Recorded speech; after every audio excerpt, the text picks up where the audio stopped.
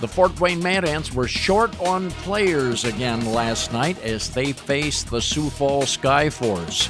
Alexander Johnson showed incredible quickness near the basket.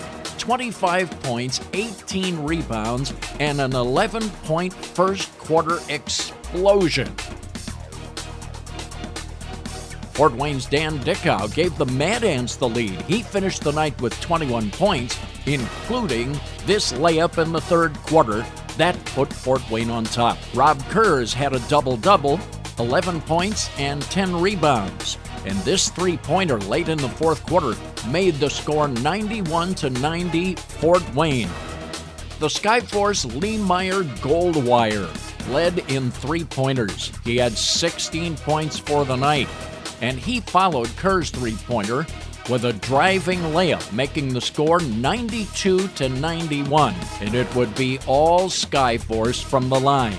The Sioux Falls Skyforce 96, the Fort Wayne Mad Ants 91.